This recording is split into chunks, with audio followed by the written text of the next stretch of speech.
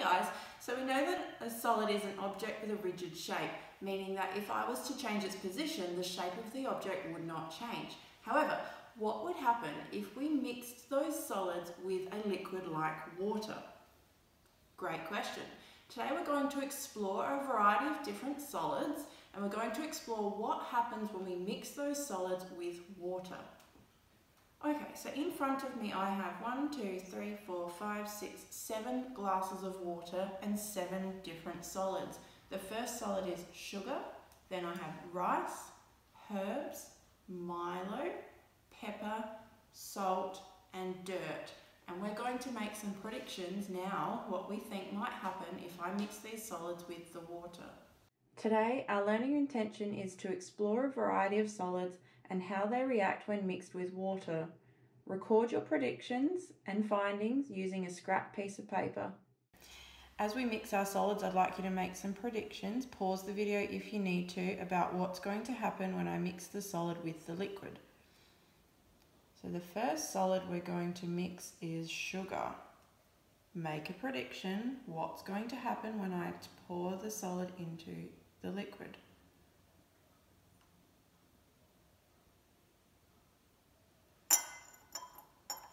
What's happening? It's dissolving. We have a nice sugary drink that we can have with our lunch now. Mmm. Okay. The next one we're going to tip is rice. Make a prediction. What's going to happen when I pour the rice into the water? Uh-oh. It's just gone straight to the bottom. Nothing has happened. That one didn't work very well. Okay, herbs. Make a prediction. Are they going to sink to the bottom? Are they going to mix in? Oh, what's happened? They're floating on top. Oh, they're still floating on top. Is that what you thought would happen? Okay, next one, Milo. Mmm, that looks tasty. You might have had Milo for breakfast before, maybe for a snack. Make a prediction. Oh, that didn't want to come off my spoon then. All right, let's give it a stir.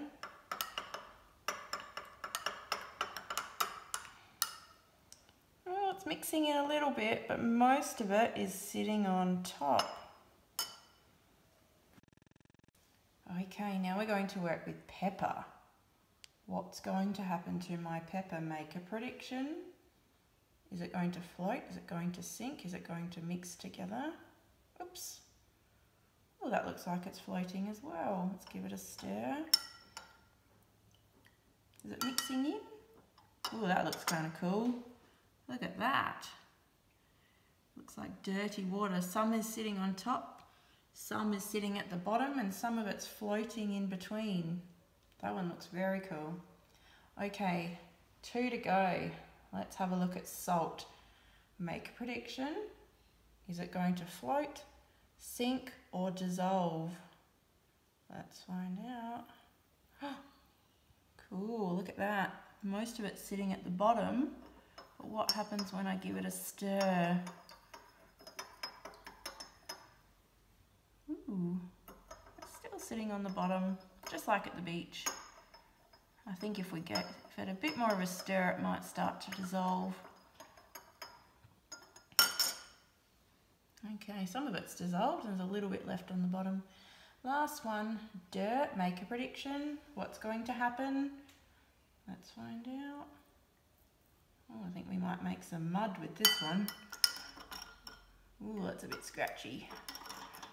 Give it a stir. What have we made? We've made muddy water. Okay, have a look at that. Okay, let's take a closer look. So first we had our sugar glass. Now we're actually going to put another teaspoon of sugar just to see what dissolving looks like. So here we go. You can see the sugar. But once we give it a stir, you'll see that the sugar slowly starts to dissolve into the water.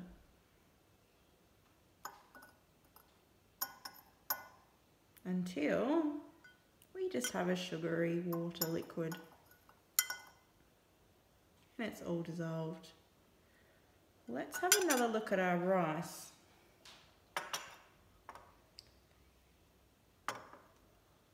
Now our rice did not dissolve, but let's give it a big stir.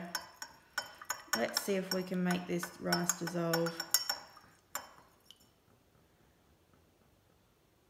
Nope, the rice is still sitting at the bottom of the water. It's just made our water a little bit murky. Okay, next we had our herbs have a closer look at our herbs. Now at the moment they're sitting on top. Let's give them a really big stir. Well, let's see what happens. They're spinning around. Are they going to dissolve? Looks like they're going to sit on the top of the water.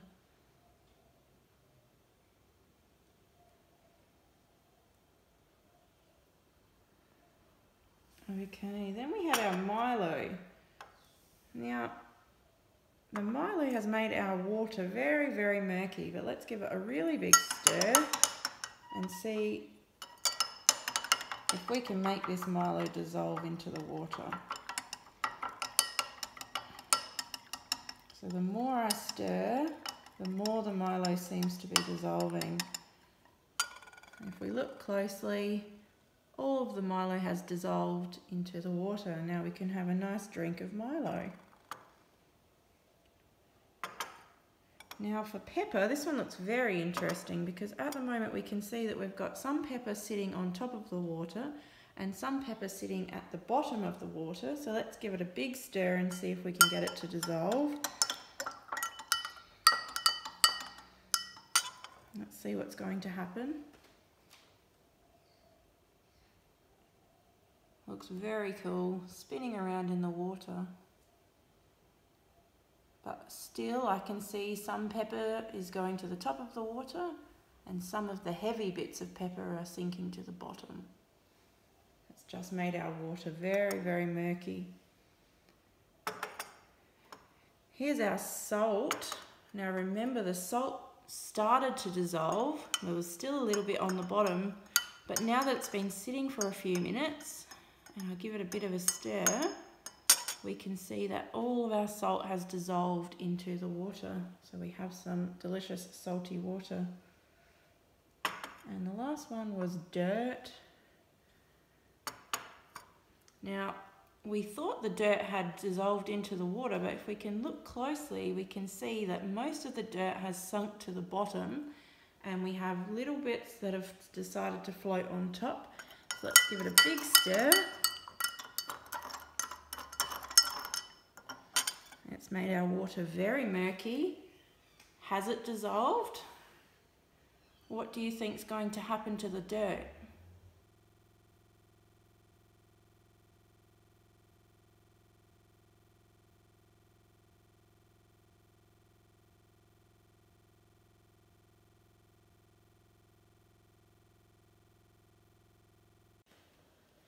Okay, so now the dirt has been sitting for a few minutes. We can see that it hadn't in fact dissolved. What's happened is the dirt has decided to sit back on the bottom of the glass with those little few floating on the top.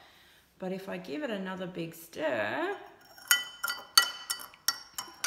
we stir up all the dirt and we make the water all murky again. Have a look at that. Wasn't that interesting? Were your predictions right? What I'd like you to do is I'd like you to go away, choose a selection of solids, fill some glasses with water and make some predictions. Now I'd like you to have a go at some recording. So I'd like you to record what you think will happen when you mix your solids with the water. Then at the end of your experiment, you'll be able to go through and decide if your predictions were correct. Then you can discuss why you thought what you did and you can discuss what could what you could do differently next time. Okay, now it's your turn. Bye.